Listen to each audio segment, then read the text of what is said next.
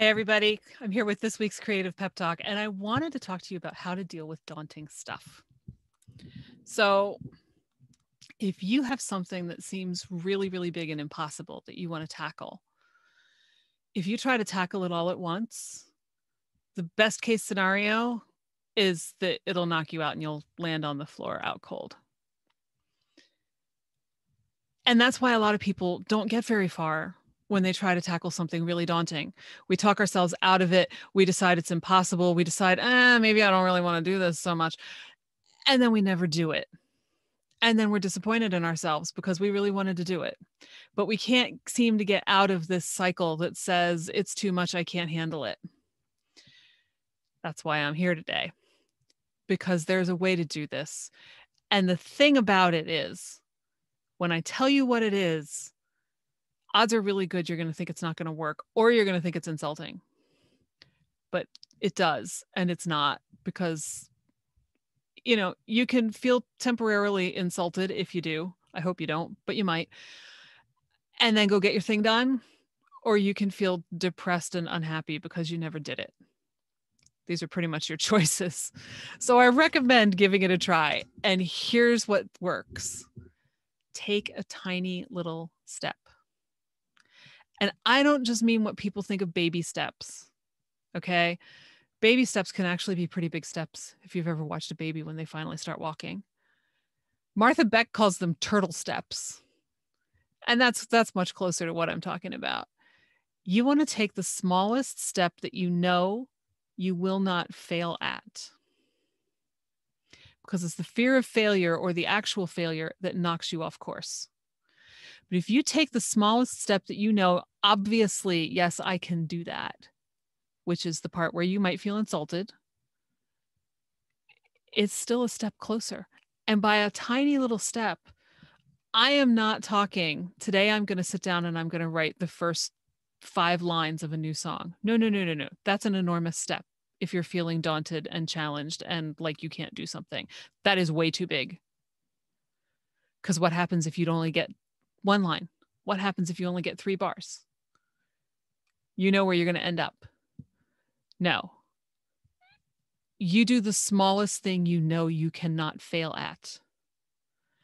That may just be sitting down at the piano with a piece of blank staff paper for five minutes and doing nothing else.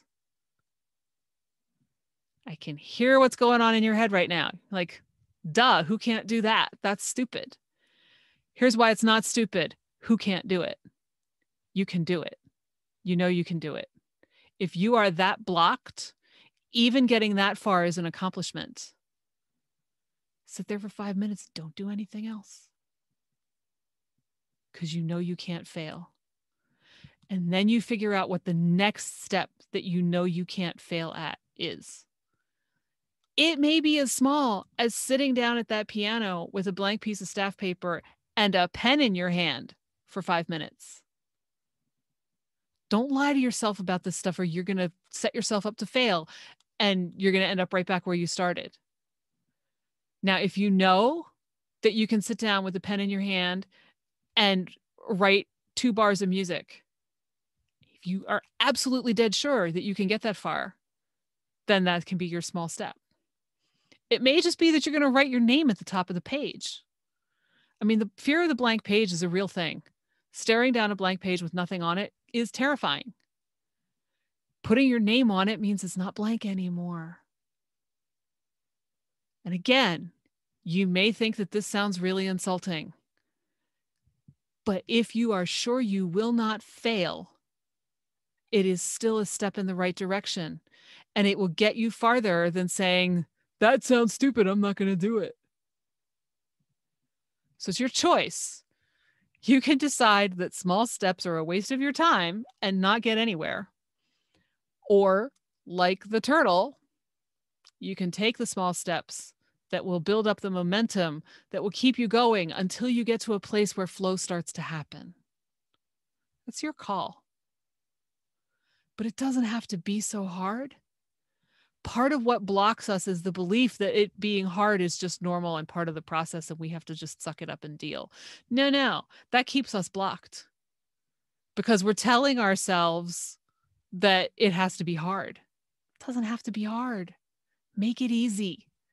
Outwit the three headed dog from Greek mythology, or was it five, one or the other, that is guarding your creativity and doesn't want to let it out. The old story of throwing the sop to Cerberus, that's basically what we're doing here. We're throwing the dog something to eat that distracts it long enough to get it out of the way so we can get in that cave and get the creativity we want. That's all this is. It just sounds bizarre because you've never heard of it before. But I promise you, it works. Tiny steps are magic because when you break things down that small, even the most daunting thing becomes possible because you can do each individual little step. If you try to do it all at once, you're going to get knocked out. At least if you're blocked at all. Obviously in some circumstances you can just sit down and be you know your inner mozart and channel that whole sonata at one time but most of us can't do that and most of us get stuck along the way. So if you're really in trouble break it down break it down so small that you know you cannot fail. This can be tricky because we all think that tiny steps are actually bigger than tiny steps. You know like i said there's a world of difference between sitting down and, and having that blank piece of paper in your hand and sitting down and filling it. So if you're having trouble i'm here for you. I want to hear how it goes i want to hear your thoughts and your questions and whatever you'd like me to talk about you know where to find me it's in the show notes and like i said if you need some extra help give me a shout i'm here but I hope that if you give it a try, you'll be pleasantly surprised. And I want to hear about that too. So give it a whirl, have fun with it, make it okay to take itty bitty little steps to get that brain where you want it to go. This is a great example of going around a block rather than destroying it. But most of all, have fun. And I hope that it helps you get started if you're feeling stuck. Let me know. I'll talk to you next time.